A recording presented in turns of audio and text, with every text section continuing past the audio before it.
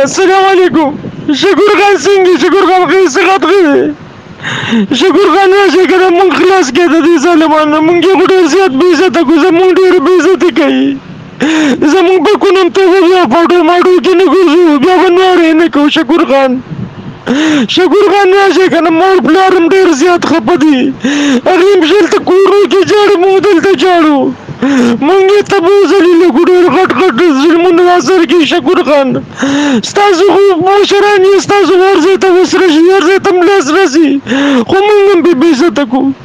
زمونږ نه به کونم ته و بیا به پاټو بندي نه کوو بیا به پاټو کې چا سره وځو نه